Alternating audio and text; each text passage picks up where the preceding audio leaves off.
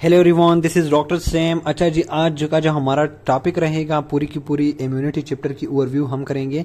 देखिए जी, इस चैप्टर में हम क्या पढ़ेंगे? सबसे पहले तो हम इम्यूनिटी को इंट्रोड्यूस करेंगे कि इम्यूनिटी में आप लोग के पास क्या क्या और कौन कौन सी चीज़ें आ रही है। देखिए जी, सबसे पहले हमारे पास है first line of defence first line of defence जो है, देखिए जी, हमारे पास इम्यूनिटी जो है, एक डिफेंस सिस्टम है। डिफेंस सिस्टम में आप लोग के पास, देखिए जी, सबसे पहले एक लाइन, दूसरी, तीसरी। तो सबसे पहले जो लाइन है, उसमें आप लोग के पास आप लोग के पास आ रहे हैं फ़िज़िकल कंपोनेंट और केमिकल कंपोनेंट अब फ़िज़िकल कंपोनेंट कौन कौन से है? जिस तरह आप लोग की स्किन है। स्किन क्या कर रही है कि आप लोग के जो जर्म्स है बाहर तो वो आप लोग की बॉडी को उसको अप्रोच नहीं कर सकते because there is a physical barrier तो फ़िज़िकल बैरियर यानी कि जो जितनी भी फ़िज़िकल बैरियर्स हैं तो आप लोग के फ़र्स्ट लाइन ऑफ़ डिफेंस में आ रहे हैं। अब ऐसा भी नहीं है कि ओनली फ़िज़िकल ऐसे भी केमिकल कंपोनेंट्स भी है जो आप लोग के उसमें आ रहे हैं फ़र्स्ट लाइन ऑफ़ डिफेंस में। जिस तरह आप लोग के H C L in the stomach तो वो क्या कर रहे हैं? आप जो खुराक खा रहे हैं, अगर उसमें कुछ कंटेमिनेशन हो जर्म्स हो तो एचसीएल जो है वो फ़र्स्ट लाइन ऑफ़ डिफेंस का एक पार्ट है, वो उसको ख़त्म करेगा। तो फ़र्स्ट लाइन ऑफ़ डिफेंस में आप लोग के पास दो चीज़ें आ रही हैं। एक है फ़िज़िकल कंपोनेंट्स और दूसरा है केमिकल कंपोनेंट्स अच्छा जी, अब एक ऐसा पैथोजन है जर्म है, जो आप लोग का फ़र्स्ट लाइन ऑफ़ डिफेंस जो है, उसको क्रॉस कर देता है। स्किन से आगे जा जाता है, या फिर आप लोग का म्यूकस मेम्ब्रेन उससे आगे चला जाता है ब्लड में पहुँच जाता है टिश्यू में पहुँच जाता है।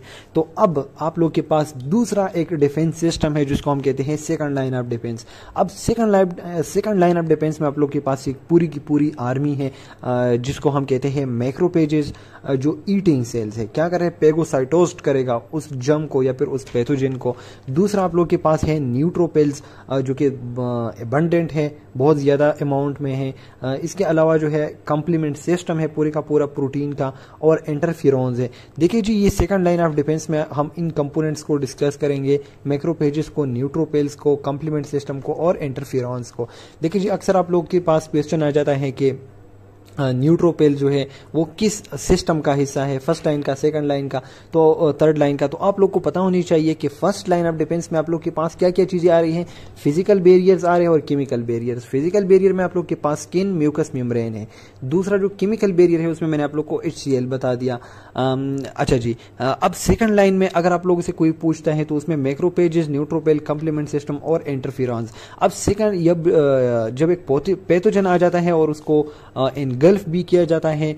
अब आप लोग के पास एक प्रोसेस इनिशिएट हो जाता है आफ्टर इन्फेक्शन जिसको हम कहते हैं इन्फ्लेमेशन तो एक इन्फेक्शन हो गया, जब एक पैथोजन ने आप लोग के ऊपर अटैक किया, उसके रिज़ल्ट में आप लोग के पास बन जाता है इन्फ्लेमेशन और इन्फ्लेमेशन और दूसरा साथ में आ जाता है पायरिक्सिया या फिर जो है पायरोजन्स की वजह से। पायरिक्सिया क्या है? फीवर है। अब बॉडी क्या कर रही है? बॉडी उस पैथोजन के खिलाफ अपने डिफेंस सिस्टम को एक्टिव कर देती है, और डिफेंस सिस्टम जब एक्टिव हो जाता है तो उसके रिज़ल्ट में इन्फ्लेमेशन और फायरिक्सिया यानी कि फीवर आ जाता है। देखिए जी, फीवर क्या है आप लोग के पास? असल में आप लोग की बॉडी टेम्परेचर चेंज हो जाती है, जिसकी वजह से जो पैथोजन ने अटैक किया है, वो प्रॉपरली ग्रो नहीं कर सकता, प्रॉपरली रिप्रोड्यूस नहीं कर सकता। So this is all about your second line of defence अच्छा जी अब आ, हम आप लोग के पास लास्ट आ आ रहा है थर्ड लाइन ऑफ़ डिफेंस अब थर्ड लाइन ऑफ़ डिफेंस को हम कहते हैं स्पेसिफिक डिफेंस स्पेसिफिक डिफेंस या फिर third line of defence specific defence में क्या हो रहा है? देखिए जी खासकर उस उस पैथोजन को जिसने अटैक किया स्पेसिफिकली उसको टारगेट किया जाता है। आ, और इस सिस्टम में आप लोग के पास जो है लेम्पोसाइट्स इंक्लूड है। पिछले वाले में आप लोग के पास न्यूट्रोपेल सेकंड लाइन में न्यूट्रोपेल मैक्रोपेजेस और ये सारी चीज़ें इंक्लूड थी। अब थर्ड लाइन में आप लोग के पास लेम्पोसाइट्स इंक्लूड है।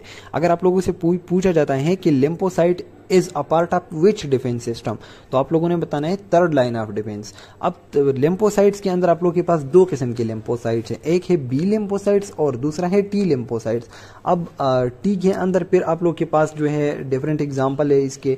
टी हेल्पर है टी किलर है साइटोटॉक्सिक टी सिल है, जो कि आप लोग के पास लेम्पोसाइट्स के अंदर आते हैं। स्पेसिफिकली आप लोगों ने बताना है कि third line of defence consist of lymphocytes which is B lymphocyte and T lymphocyte अब ये किस तरह एक्शन कर देता है? तो आ, हमारे पास जो डिफेंस सिस्टम एक्शन करता है तो एक सेल मीडिएटेड और एक है एंटीबॉडी मीडिएटेड सेल मीडिएटेड में जो helper T cell B lymphocytes ये सेल जो हैं जो कि आप लोग के पास सेल्स है जब वह एक्शन में आ जाते हैं एज इम्यून रिस्पांस तो उसको हम सेल मेडिएटेड इम्यूनिटी कहते हैं। और अगर एंटीबॉडी प्रोडक्शन हो जाती है, जो कि हमारे पास बी लिम्पोसाइड्स जो है, वो फाइनली एंटीबॉडी प्रोडक्शन करता है and then it kills the pathogen तो उसको हम एंटीबॉडी मीडिएटेड इम्यून रिस्पांस कहते हैं। तो ये दोनों रिस्पांस जो है, हम इंशाल्लाह बहुत डिटेल में पढ़ेंगे। फ़िलहाल आप लोग को इतना ही पता होना चाहिए कि किस सिस्टम में कौन से सेल्स इन्वॉल्व है, ये आप लोग का काम है। अच्छा जी at the end of the chapter आप जब आप लोग first line of defence second line of defence और थर्ड लाइन ऑफ़ डिफेंस पढ़ देते हैं, उसके बाद आप लोग के पास आ जाते हैं कि टाइप ऑफ़ इम्यूनिटी कि हमारे पास डिफेंस सिस्टम जो है, वो उसकी कितने अकसाम है। तो नंबर फ़र्स्ट आप लोग देखें इनेट इम्यून सिस्टम और दूसरा है एक्वायर्ड इनेट जो आप लोग की बॉडी के साथ एक नेचुरल इम्यून सिस्टम है और दूसरा है एक्वायर्ड जिस तरह आप लोग बाहर से एक कोई ऐसी चीज़ ले रहे हैं जो आप लोग के डिफेंस सिस्टम को बूस्ट कर रहा है या उसकी हेल्प करते तो उसको एक्वायर्ड कहते हैं जो हम बाहर से ले लेते। और एक है आप लोग का नेचुरल इनेट इन बॉर्न जो आप लोग के साथ पैदाइशी तौर पे मिली हुई है। जिस तरह हम अगर वैक्सीन ले रहे हैं ना वैक्सीन तो हम बाहर से इम्यूनिटी डिफेंस सिस्टम के साथ कुछ इंक्लूड कर रहे हैं तो उसको एक्वायर्ड कहते हैं।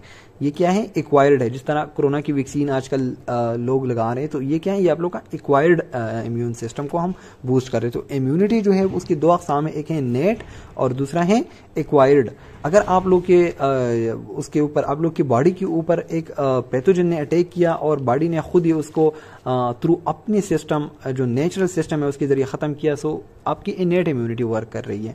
अगर आप लोग बाहर से किसी ऐसी वैक्सीन को ले रहे हैं, जो इन द फ्यूचर उस चीज़ को ख़त्म करेगा तो ये आप लोग एक एक्वायर्ड इम्यूनिटी सिस्टम को बूस्ट कर रहे हैं। सो दो दो किस्म की इम्यूनिटी आप लोग के पास।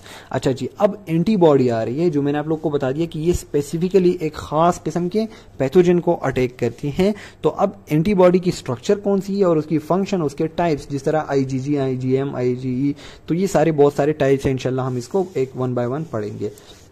जिस तरह हमने डाइजेस्टिव सिस्टम में एट द एंड उसके डिसऑर्डर्स पढ़े थे तो अब हम इम्यूनिटी में भी at the end disorder of immune system पढ़ते हैं। अब disorder of the immune system में आप लोग के पास बहुत इंपॉर्टेंट जो है थ्री चीज़ें हम डिस्कस करते हैं। नंबर फ़र्स्ट है आप लोग के एलर्जी एलर्जी क्या है? Allergy is the stupidity of immune system stupidity किस तरह की? एक पोलन आ गया बाहर से, या फिर एक नॉन पैथोजन सी चीज़ आ गया, जो आप लोग की बॉडी के लिए खतरनाक नहीं लेकिन बॉडी उसके खिलाफ जो है ना बहुत ज़्यादा एक्शन शो कर देता है और इतना एक्शन शो कर देता है कि अपनी ही सेल्स की आ, को डिस्ट्रॉय और अपनी ही टिश्यू को डिस्ट्रक्शन स्टार्ट हो जाती है। So this is like stupidity of immune system की इम्यून सिस्टम एक छोटी सी चीज़ के लिए जो खतरनाक भी नहीं है हमारी बॉडी के लिए और उसके खिलाफ एक्शन कर रहा है। देखिए जी अक्सर आप लोगों ने एलर्जी का तो आप लोगों ने सिंपली आप लोगों ने बहुत ज़्यादा सुना होगा कि हम किसी फ्लावर्स या ऐसे पॉलन्स हो एक, एक जगह पर तो हम बंदा जो है खांसने लगता जाता जाता है कफिंग स्टार्ट कर देता है। तो इस तरह आ, क्या कर है उसकी बॉडी ने उस चीज़ को कुछ ज़्यादा ही सीरियस ले लिया जो कि इतना सीरियस नहीं था। तो दिस इज़ अबाउट एलर्जी हम इंशाल्लाह डिटेल में इसके ऊपर जाएँगे। आ, इसके अलावा आप लोग देखें autoimmune disorder autoimmune disorder क्या है? कि देखिए जी इम्यून सिस्टम के अंदर अल्लाह ने एक खूबी रखी हुई है। वो ये है कि वो आप लोगों की सेल्स यानी कि सेल्फ बॉडी सेल्स को जान रहा होता है और एक नॉन सेल्फ जो कि बाहर से आ रहे होते हैं, उनको डिफ्रेंशिएट कर सकता है। अब अगर इम्यून सिस्टम का दिमाग खराब हो जाए ना, और वो अपनी सेल्स और बाहर से आने वाले सेल्स उसको डिफ्रेंशिएट ना कर सके, यानी कि सेल्फ और नॉन सेल्फ के अंदर दरमियान में जो फ़र्क ना कर सके तो फिर वो अपनी ही सेल की डिस्ट्रक्शन शुरू कर देता है। असल में इम्यून सिस्टम का काम क्या है कि बाहर से अगर एक पैथोजन ने अटैक किया, उसको खत्म करना। लेकिन अब यहाँ पर इम्यून सिस्टम पागल हो चुका है और वो अपनी ही सेल को डिस्ट्रॉय कर रहा है so this is your autoimmune disorders तो इनशाला हम इस चीज़ को पढ़ेंगे कि इम्यून सिस्टम जो है वो क्यों गलत हो जाता है और अपनी सेल को डिस्ट्रॉय क्यों करना स्टार्ट कर देता है। इसके अलावा लास्ट हम पढ़ेंगे रिजेक्शन ऑफ़ ट्रांसप्लांट कि अगर एक बंदी ने जो है ट्रांसप्लांट किया है एक ऑर्गन को kidney transplant is very famous तो अब वो ट्रांसप्लांट जो है, जो बाहर से एक किडनी आई हुई है, उसके खिलाफ इम्यून सिस्टम जो है अपना एक्शन शुरू कर शुरू कर देता है। इम्यून सिस्टम को लगता है कि ये किडनी तो मेरे अपनी बॉडी की है ही नहीं तो उसके खिलाफ जब एक्शन शुरू कर देता है तो उसको हम कहते हैं रिजेक्शन तो रिजेक्शन ऑफ़ ट्रांसप्लांट इंशाल्लाह, हम एट द एंड पढ़ेंगे।